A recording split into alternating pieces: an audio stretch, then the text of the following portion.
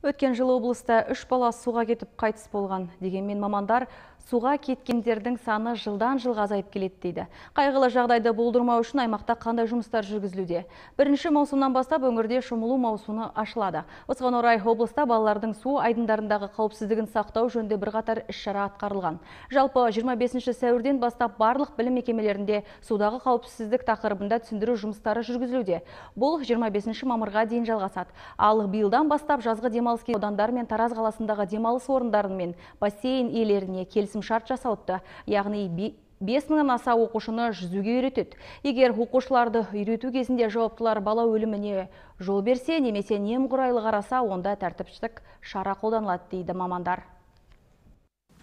бұның барлығы енді алдын алу шаралары бірақ дегенмен негізгі қауіпсіздікті қамтамасыз ету ол шындап келгенде ата ананың мойнында біз барлық мектептегі мұғалімдерге басшылықтарға айтамыз.